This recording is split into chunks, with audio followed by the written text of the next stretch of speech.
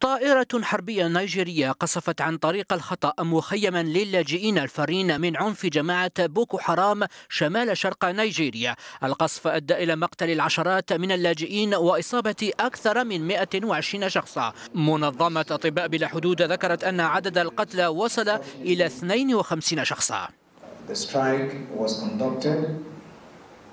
لسوء الحظ تم إجراء الضرب إلا أنه تبين أن السكان المحليين كانوا في مكان الحادث هذه نتائج ضبابية الحرب للأسف ولهذا السبب هذه الحرب يجب أن تنتهي يقول لاكي إيربور قائد القوات العسكرية That's the.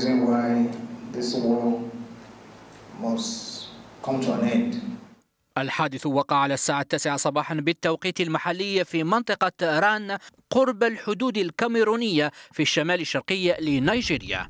أعمال العنف التي تشنها جماعة بوكو حرام خلفت أكثر من عشرين ألف قتيل وما يفوق المليونين ونصف المليون مهجر.